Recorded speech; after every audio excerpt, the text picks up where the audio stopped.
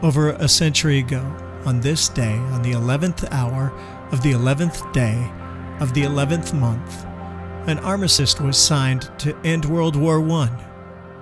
It became known as Armistice Day to remember those who lost their lives in what was supposed to be the war to end all wars.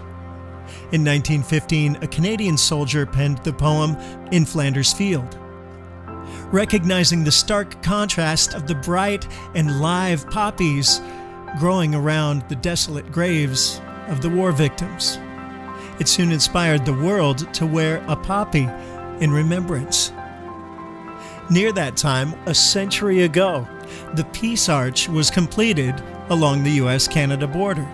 On it, the inscription, Brethren dwelling together in unity soldiers from both countries standing side by side on many battlefields around the world, sharing in both triumph and in tragedy. Remembrance Day and Veterans Day originated to honor those who gave the ultimate sacrifice.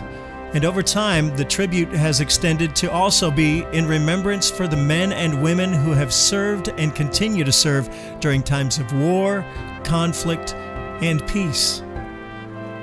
So, thank you to all the veterans, past and present, on both sides of the border, men and women from all walks of life and cultures that chose to give of yourselves to protect the freedoms that we all enjoy. You exemplify the true patriot love as spoken of in one anthem, and the land of the free, as the other anthem proclaims. Oh, say, can you see as you stand on guard for thee? May God keep both lands glorious and free.